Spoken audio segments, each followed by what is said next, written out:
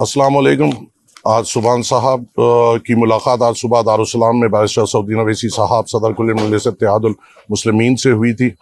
सुबहान साहब वो है जिन्होंने अपनी जान पर खेल कर खम्मम के फ्लड्स में नौ लोगों की जान बचाई थी।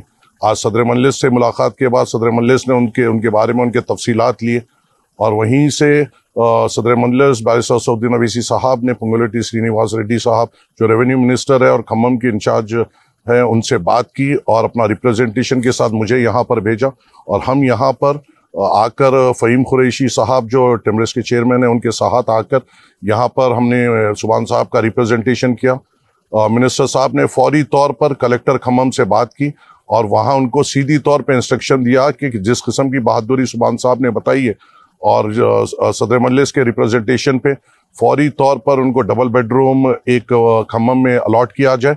और जो पहली लिस्ट अब निकलने वाली है, उसमें इंशाल्लाह सुबहान साहब का नाम होना चाहिए।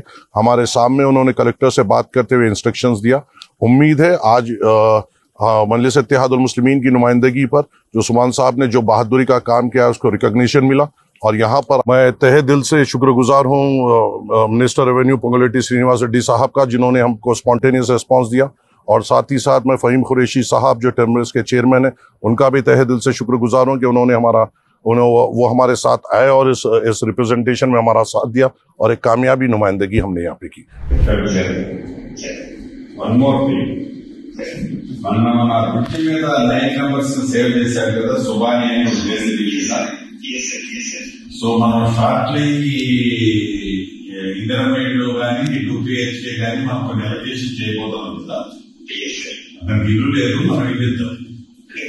సో మీరు ఆ డీటెయిల్స్ నాకు హైదరాబాద్లో కలిసారు